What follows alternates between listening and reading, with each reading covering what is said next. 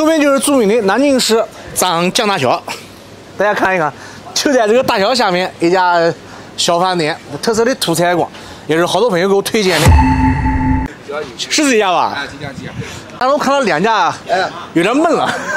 其实其实是一家是吧？哎，是一家，全是名单嘛。哦，那个可以，那生腌虾，生腌我觉得不错啊。这边是蔬菜，哦，这边是生的可以炒的。你们家开多少钱？我妈他们先开的。哦，没没得菜了？没得菜，我看看店的。第一道菜是炖鱼，生腌虾，美国的汤，铁锅肥肠。我们三个人四个菜，阿哥够了。螺是螺子是一样的吗？一样的，有螺，有那个生腌河虾，啊，还有那个三文鱼、梭子蟹、六月黄都可以生腌。你搞一个生腌虾，生腌河虾，再再来个梭子蟹啊？可以。我们来个两只吧，两只，两只尝尝啊！生腌虾，生腌梭子蟹，嗯，都是活的，都可以欢迎。为什么叫这个名字啊？因为这个是靠大桥嘛。啊，靠大桥就取这个名字嘛，约卖一个一种雅的意思。啊，这也不错嘛，络绎不绝啊。没得菜单包五呀，，全部就是名堂的菜，想吃什么手指就行了。老板在这搞，老板娘是吧？老板娘在忙活了。你看看人家小饭店不大，里面蛮干净的。来咸子，老板娘，这个是柳骨头汤吗？这么大一份啊？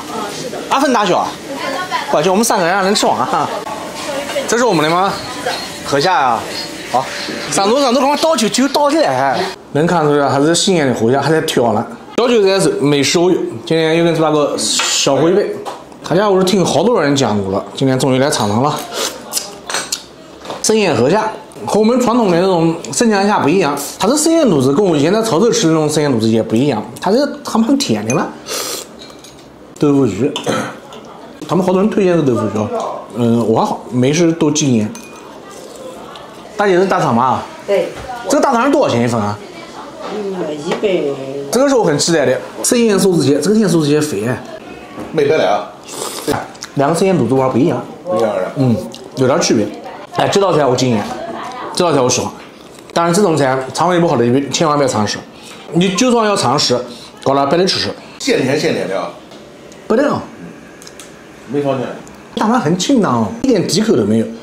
但是我吃这大肠还是喜欢，就里面没得油的，它这里面是有油的，就洗的还蛮干净的，没什么异味。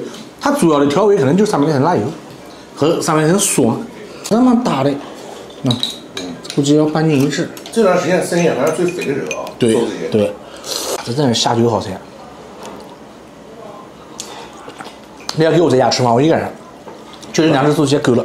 这是吃肉还是吃汤啊？对，有肉有汤有骨头。牛骨清汤，放点大白菜，枣子调调色，里面有牛肉，哦，牛大骨头。啊，它的汤特别特别清淡，很淡。哦，也有可能刚才我们吃那个生腌，那个味儿重，把这个味道盖住了。汤的味道还不错，就是那种牛骨汤的本味。应该讲调料不是很多。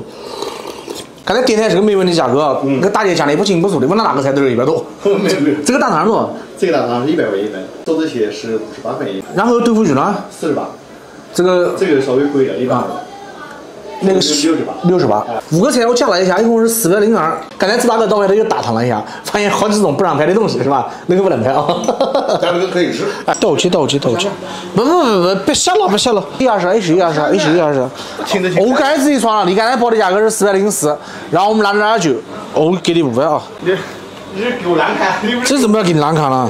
老板说不收钱，我们还是按正常价格给，四百零四，我们给你五百，因为拿了不少啤酒嘛。老板也蛮抬气的，送那个菜，就叫剁椒黄鳝，我估计七十八、八十八最爽的啊，起步价。